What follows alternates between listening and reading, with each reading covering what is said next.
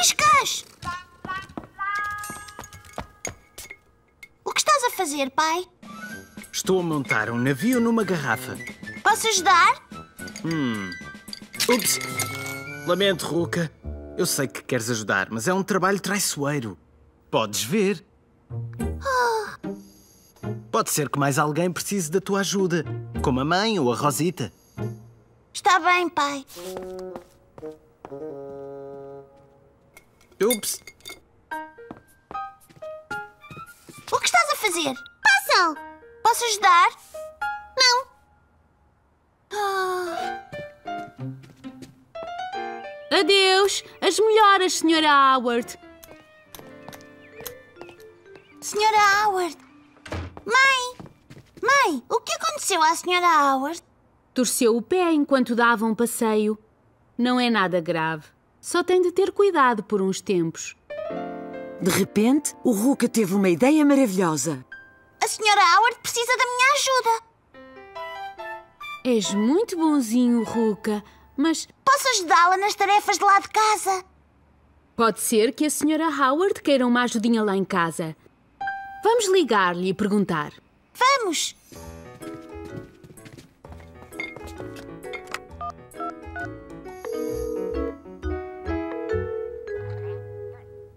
Olá, como está? Eu e o Ruka estávamos a pensar se podemos passar por aí para falarmos. Ah, ótimo! Então até já.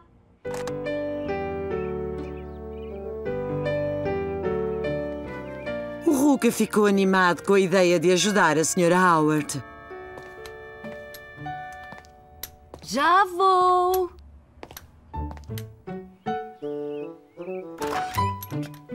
Olá, então.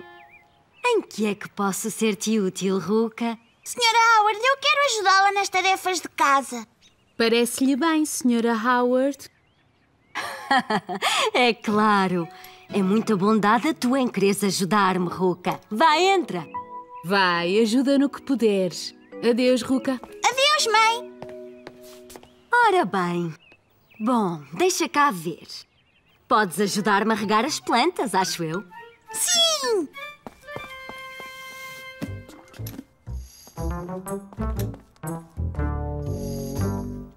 Uou! Oh! Oh! Ops! Oh! Asneira! Como vai isso, Ruka? Eu entornei alguma água. Oh, não te aflijas, Ruka. Eu pego numa esfregona e limpo já isso. Cuidado para não escorregar.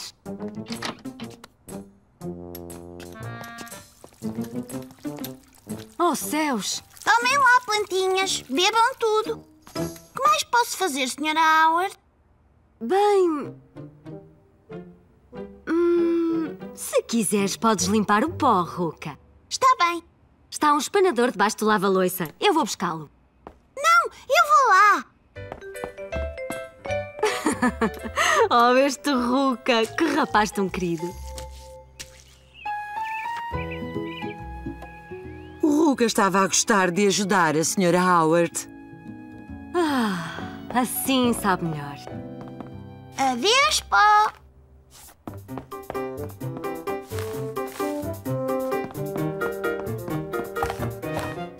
Ups!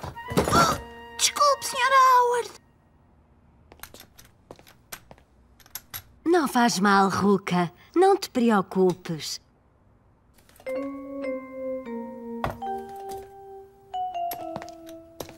Também já precisava de um abajur novo. O Ruka não queria estragar o abajur. De repente, já não se sentia lá grande ajuda. Sabes como podias dar-me uma grande ajuda, Ruka? Como? Era ótimo se fosses buscar as minhas cartas à caixa do correio. Eu posso fazer isso.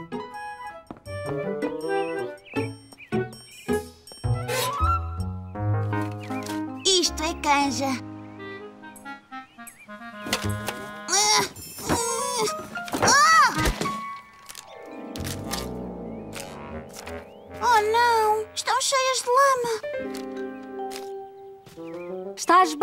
Ruka?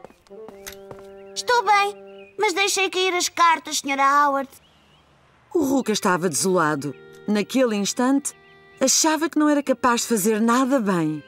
Deixa lá, Ruka, é só lama. De certeza que está tudo bem. Anda, vem para dentro para te limpares.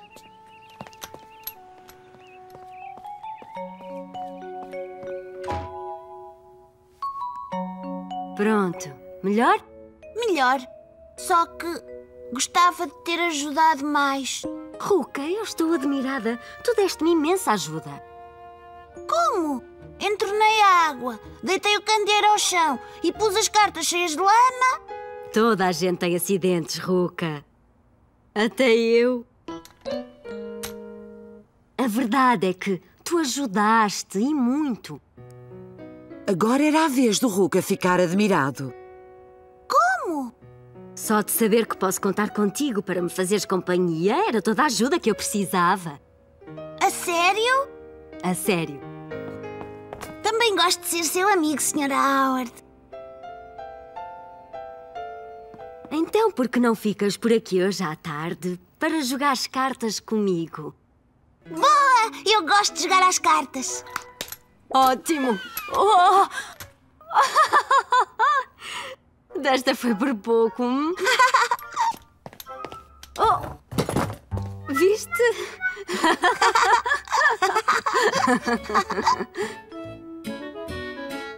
Nesse dia, o Ruka aprendeu que dar o seu tempo é muitas vezes a melhor forma de ajudar uma amiga que precisa.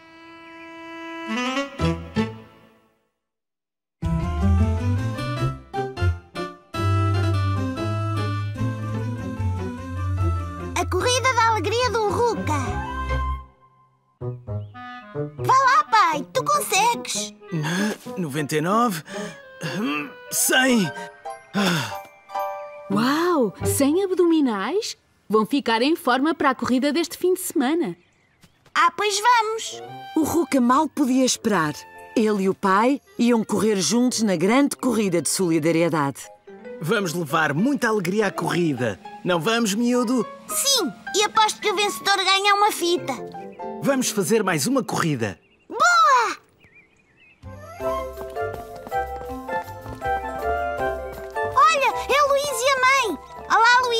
Olá, Ruka. Estou a ver que hoje tivemos a mesma ideia. Dar uma corrida. Pois, estamos inscritos na corrida do fim de semana. Nós também! Achas que o vencedor ganha uma fita?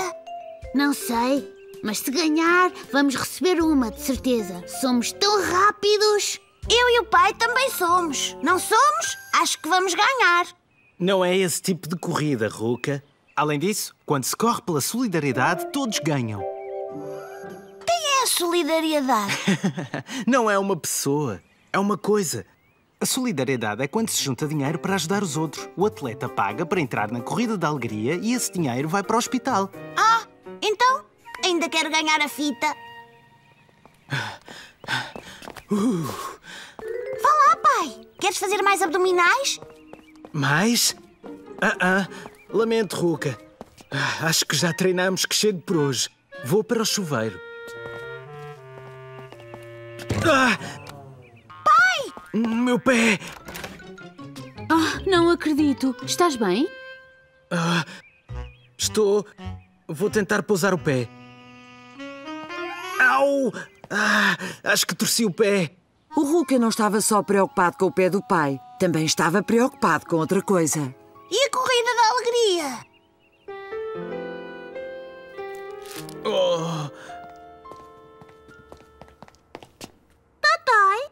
Pois é, Rosita. O pai tem dói-dói. Não se aflijam. Liguei à médica do centro de saúde. Ela vai já atender-nos. Vamos para lá assim que o avô chegue para ficar convosco. Pai, espero que o teu pé fique bom depressa. Oh, obrigado, filho. Eu. Ainda neste fim de semana, para podermos ir à corrida da alegria. Fofinho, acho que o pai agora não está a pensar na corrida da alegria. Ah, pois. Desculpa, pai. O Ruka estava ansioso à espera que o pai e a mãe regressassem do hospital. E agora uma volta! tim, tim. Amanhã tinta. Ora, chega, chega, chega. Ora, cá, cá, cá no chão. Já chegamos! Olá, filhos. O pai fez uma entorse no pé.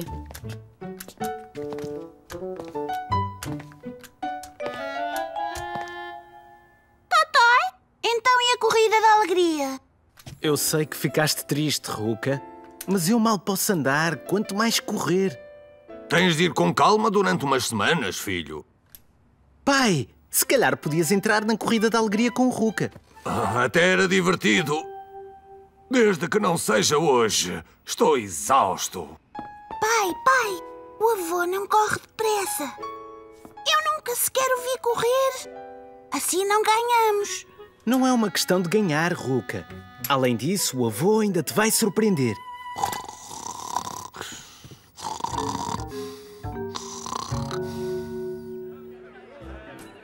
O Ruka estava animado. Era o dia da grande corrida. Os atletas estavam todos a preparar-se. Todos, menos o avô. Tirei-te o nariz.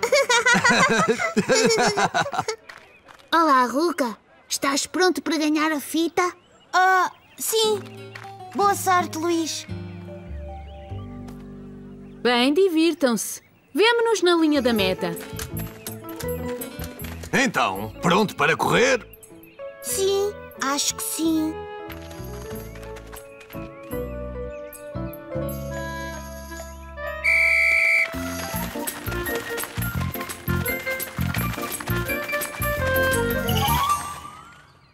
Vou tirar-te o nariz quando voltar. Olha que vou. Ruca, espera aí.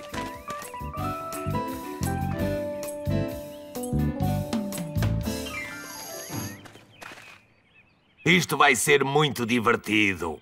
Pois, muito. Vamos!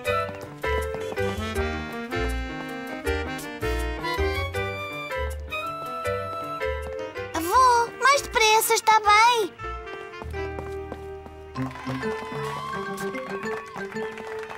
Estão a bater palmas a quem? A nós, Mas porquê? Nós não vamos ganhar? ganhar. Não se trata de ganhar. É uma corrida de solidariedade.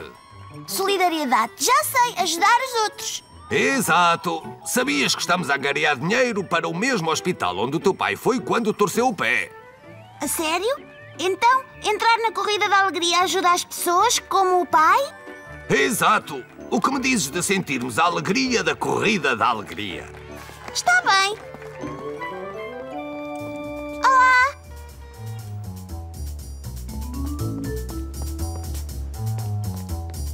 Ruca, olha. Olá, Ruca. Toma.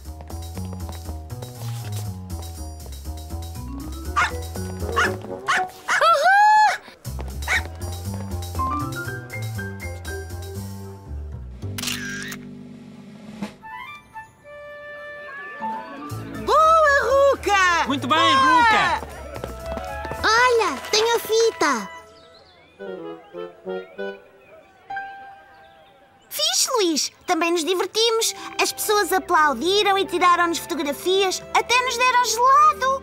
O quê? Até te deram gelado? Que sorte.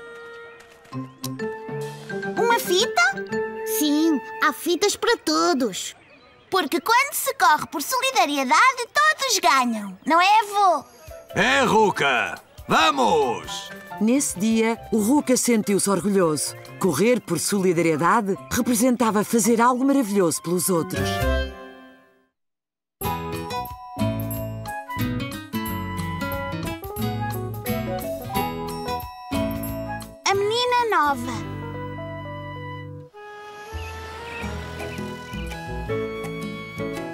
Esta vai ser a melhor visita de estudo de sempre. Hoje o Ruka ia a um dos seus sítios preferidos. O Museu dos Dinossauros. O Luís vai ser o meu par. Nós já temos tudo planeado. Primeiro vou eu sentado à janela e o Luís vem no regresso. Depois vamos ver quem consegue dizer mais nomes de dinossauros e depois vamos ver quem consegue imitar melhor um dinossauro. Vai ser a melhor visita de estudo de sempre. Vou pôr mais um pacote de passas no teu almoço. Mas não é para dar passas aos dinossauros. Os dinossauros não gostam de passas, mãe. Eles comem plantas e outros dinossauros.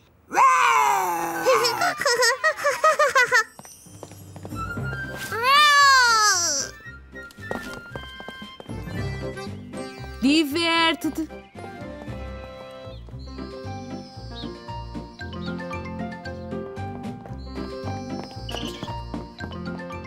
Te esqueças, eu fico à janela no caminho para o museu, Luís. E eu fico no regresso.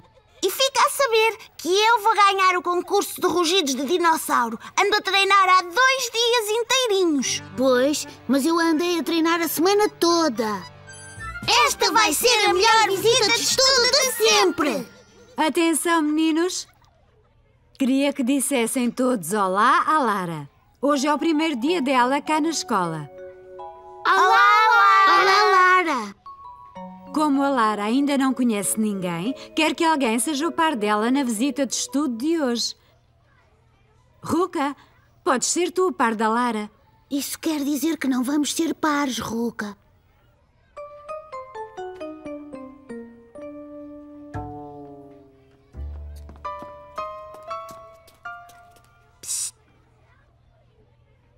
Bem, não se esqueçam das regras. Cada par vai de mãos dadas e nunca pode separar-se. Fiquem sempre no vosso lugar da fila, para não se perderem.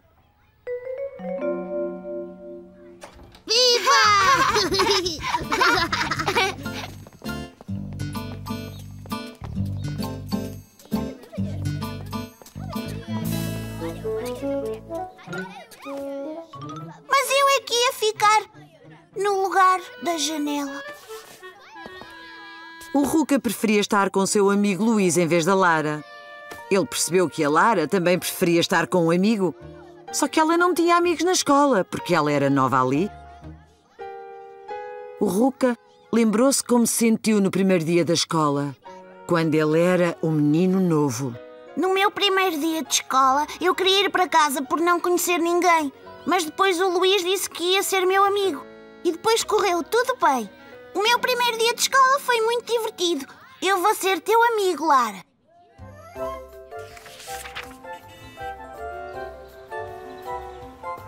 Assim que o Ruca viu os dinossauros, queria que ele e o Luís estivessem juntos para poderem fazer o jogo dos nomes dos dinossauros. Eu e o Luís sabemos os nomes dos dinossauros.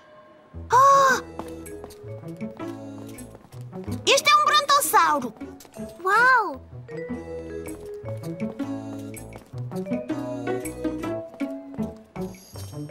E este é um T-Rex. E aquele ali com os espinhos nas costas é um estegossauro. O Ruca ficou impressionado por a Lara saber os nomes dos dinossauros. Ficou a pensar se ela saberia imitar os dinossauros, como ele e o Luís faziam. Eu acho que o T-Rex devia fazer assim. Uau! Talvez, mas eu acho que era mais assim.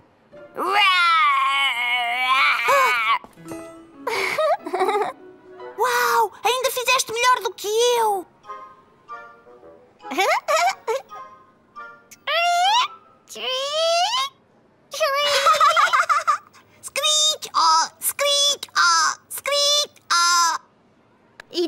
fizeste ainda melhor do que eu.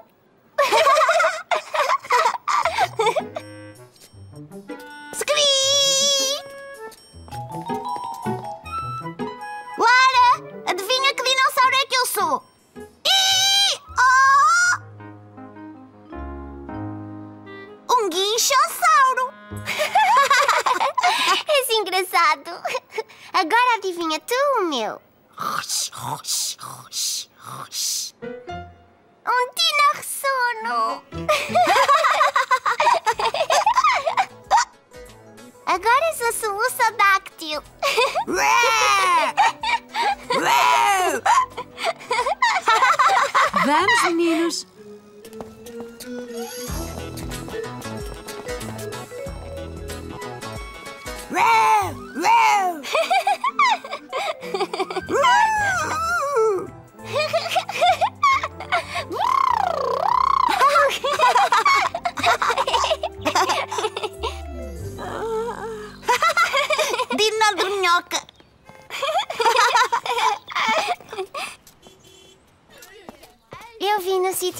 Agora é a tua vez, Ruka.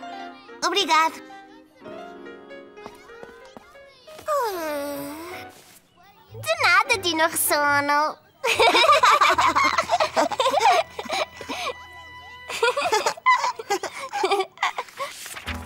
Enquanto o Ruka esperava que a mãe viesse buscá-lo, partilhou algumas das coisas que aprendera no museu. Vá lá, adivinha quem eu sou?